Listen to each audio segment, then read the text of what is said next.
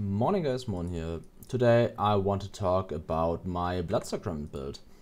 I previously said that I would not make a specific video about this character because it's kind of a like a very known concept and not very specific. But at this point I have invested quite a bit into the character and changed some stuff away from like how the other builds function and how they do their stuff and how they build because I have taken like five or six hundred divines and threw them onto the character to see what happens. And today's the day where I want to talk about what I have changed about the build. So here you already see I am using a swap setup for bosses. I do obviously not swap into the setup for like a or something. As you've seen, he doesn't matter at all. But it's a pretty good setup for stuff like Uber Exarch and Uber Eater and stuff like that. So yeah, so first of all, what are these two setups? The first one is the Calm Spirit setup that most people uh, that use this build use. It's for having the Berserk and for, yeah, just being big and fast and stuff like that. Um, on the clear setup, I usually am using phase run instead of shield charge. Why I am using shield charge, we will take on later in this video. Then for the high-end bosses, I am using the Entropic Devastation gloves together with the Sublime Vision, which I like take out Storm Shroud for. The Storm Shroud makes us elemental element immune, and we don't really need that for like the bosses, the big bosses, because I don't care about the elemental elements they do because they usually are dead. So they don't really do anything. And yeah, so let's take a look at the gear I have changed other than like the jewels. So for the most part, I have just created a pretty big ring and I am working on Essence Worm corruptions. Here I currently am working on a percent strength Essence Worm. Currently I'm using a cannot be ignited because it's the best one I've got. Um, I have corrupted about 800 rings at this point and well, it's not going as well as I hoped. But yeah, other than that, let's take a look. We have boots. These boots are pretty normal for this build. They are pretty much what you're using, but they are like min-max to the point where they are full tier 1. they have action speed and cooldown recovery in the implicits. The cooldown recovery currently is completely overkill and it's not really used. Um, however, I currently am working on a different belt, which I can show here in a second. And when the belt is finished, I can take off the cooldown reduction from the helmet and go for Malediction and Curse Effect, which is a lot stronger.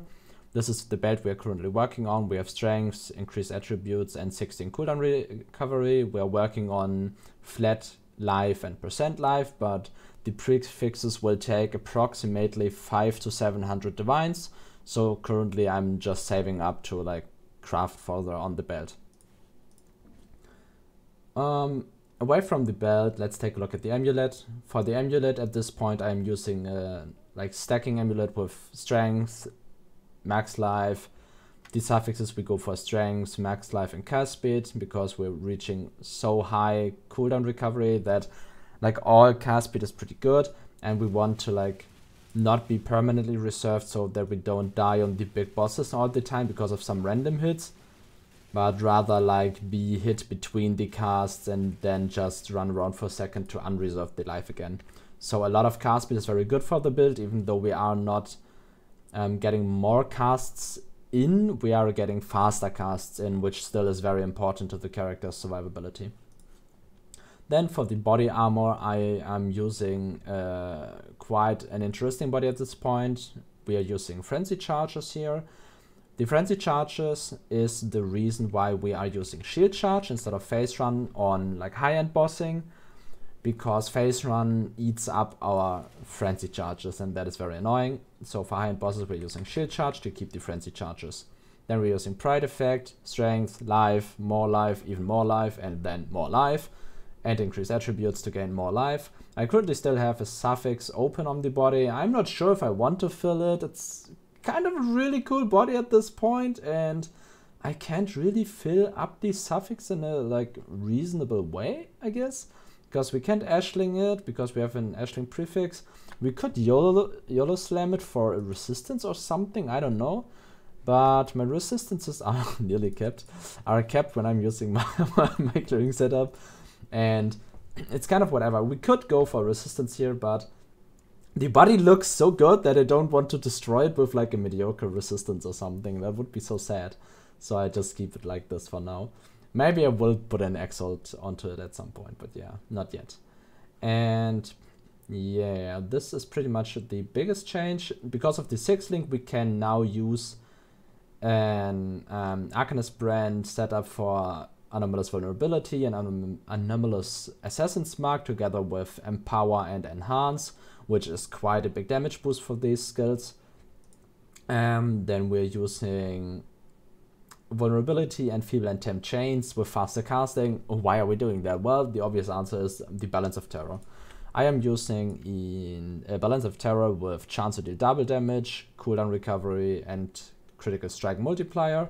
And when we're like before a zeros phase or like when Maven is spawning, just blah blah blah, get the three buffs going, and it's like, yeah, very easy uptime, and yeah, it doesn't really matter. It's such an enormous damage boost that like the it's okay to click three buttons here like it's whatever.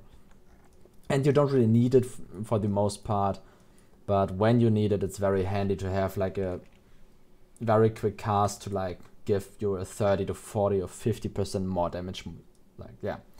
Then what is very noticeable here is that i don't use this part of the tree anymore which most of the players do because it's a very, very strong part of the tree.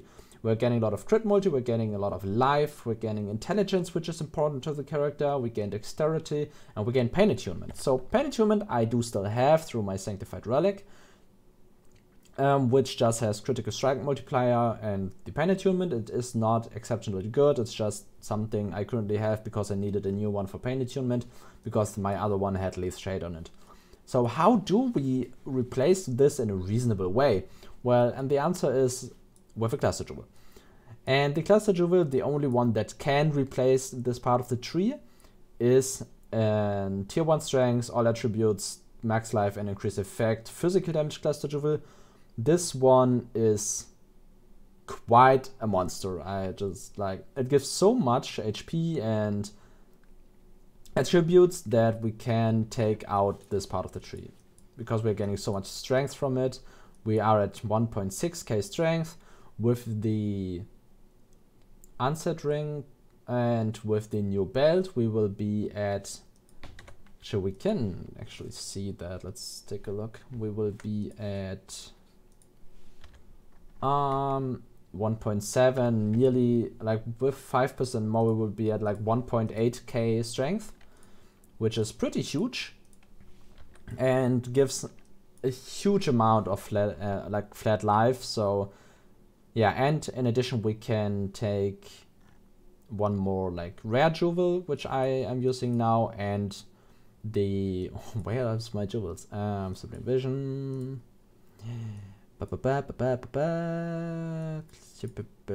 There, Forbidden Flame, Forbidden Flesh we are using the Slayer Forbidden Flame Forbidden Flesh combination because it gives Culling Strike, Overleech, which is really nice when we are not using Petrified Blood, and Area of Effect, and cannot take Reflect Physical Damage, which means that we can run absolutely all map mods. So we have not a single map mod we cannot run, we just run everything blind.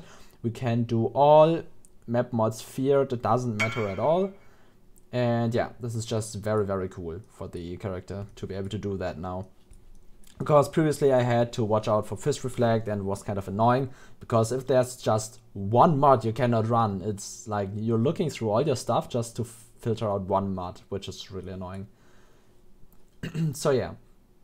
As I said, the next upgrades with the belt, because I need 15% cooldown reduction on the belt, which is fairly annoying to replace the Glimpse of Chaos. Then we will put in a Glimpse of Chaos with Malediction and Curse Effect.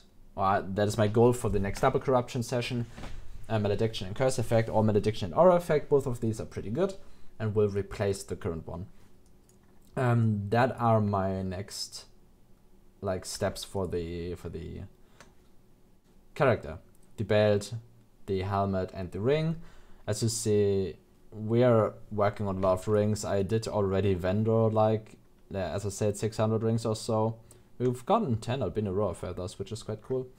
Um, but aside from that that's pretty much what i wanted to talk about. Um, i actually have taken out the um, where are these?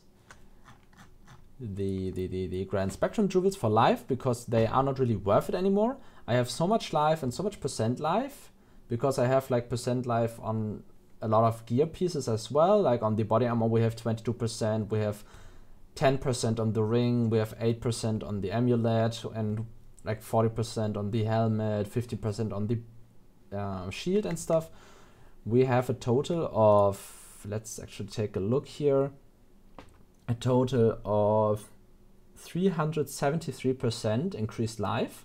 So three grand spectrums would only push us a little over 410%, or barely, yeah, barely over 100 and it's 118% life more or less because we're losing some life from rare jewels. So they are not really worth it anymore for me. They give about, I believe, 6% damage per slot, and that's just not good enough for Grand Spectrum Jewels. So yeah, that's pretty much all I wanted to talk about, I believe.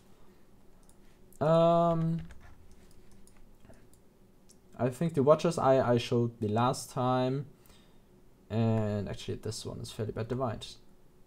Uh, whatever. So, yeah. If you have any questions about this character, I want to keep this fairly short. If you have any questions about this character or overall the gear or how to craft this, whatever, you can always write in the comments. I will answer everything I can and yeah. Have a great day and or night or whatever and see you on the next video.